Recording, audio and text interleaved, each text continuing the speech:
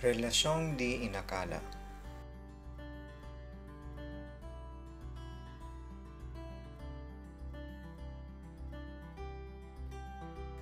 Hi! Ako nga pala si AYZ. Di ko totoong pangalan.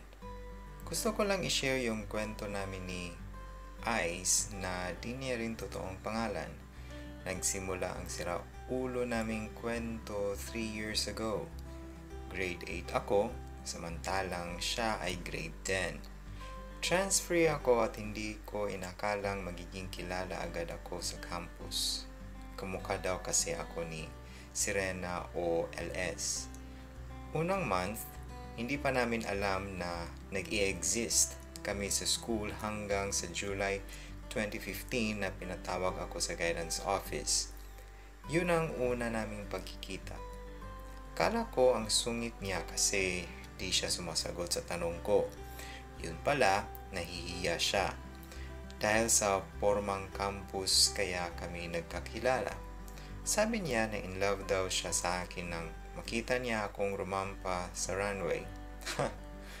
Di nagtagal, niligawan niya ako. Sa pagkaalala ko, di ko siya pinayagan pero sabi niya pumayag daw ako nung nagsimba kami. Noong first kong magsimba kasama ang hindi ko masyadong kakilala. Pero bilib ako sa kanya kasi nagpaalam muna siya kay mama bago sa akin pinakilala niya ako sa mama niya at tuwing practice namin sa show, masasabi kong date na yon. Noong una, iniisip ko na parang masyadong mabilis siya, na aggressive siya sa panliligaw. At dahil nga bata pa ako noon, ilang beses ko siyang binasted, sinaktan at pinahirapan sa mga pagsubok ko. Ayoko pa kasi talagang mag-boyfriend pero kahit ulit-ulit na ganun, maghihintay pa rin daw siya. Hanggang sa nakailang season kami sa fashion show, nakilala namin ang isa't isa. Nakilala na siya nila mama, papa, mga kapatid ko, lola, tita at iba pang relatives. Kakatawa nga eh, lahat sila boto sa kanya, pati nga mga kaibigan ko. Ako lang ang may ayaw. Halos ereto na nga siya ng nanay ko sa akin eh Tas inaasar naman ako ni Papa sa kanya. Dahil noon, naging close kami at naging mag-MU. Sabi ko, bigyan ko nga to ng chance na manligaw baka sakaling magbago isip ko. Then yun, halos lahat na alam na namin sa isa't isa. Wala akong nakitang flaws niya na matindi pwera sa pagiging madrama, siloso at iyakin niya pagdating sa akin at sa pamilya niya. Binigay niya kasi account niya sa akin kahit di ko hinihingi. So, kinalkal ko yung mula sa pinakauna at wala akong nakitang mura o bastos na salita katulad sa ibang lalaki. Sabi ko sa sarili ko, aba, ang bait naman ito.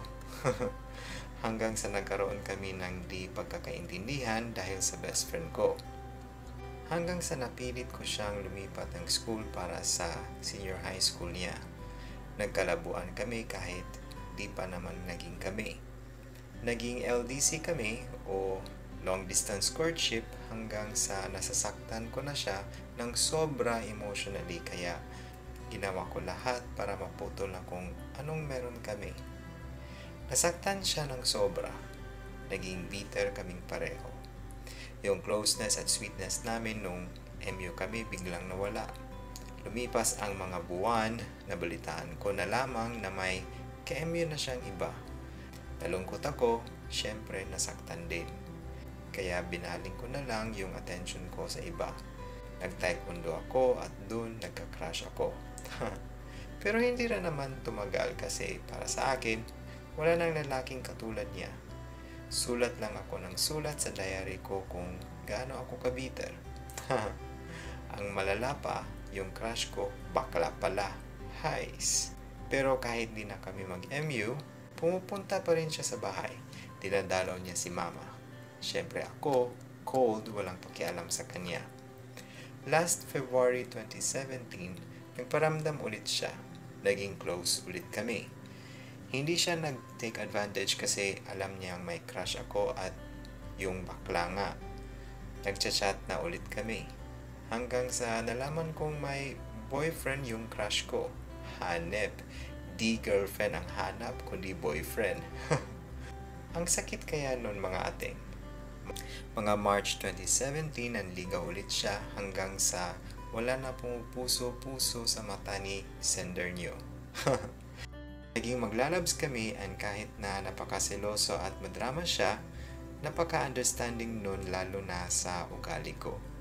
After one year and four months na panliligaw niya, ayun na mas naghihirap na siya ngayon. Joke. One year and one month na kami and still counting. Aminado ako na cold at hard ako tsaka maraming tests ang isinasagawa ko para makita ko talaga kung deserving ba talaga yung lalaki. Alam kong walang forever, pero di naman masamang ma-in love. Kaya sa mga lalaking napakatsaga manligaw dyan, keep it up kasi someday may patutunguhan niyang paghihirap niyo. P.S. Legal kami both sides. Ate Mong Bitter, 2018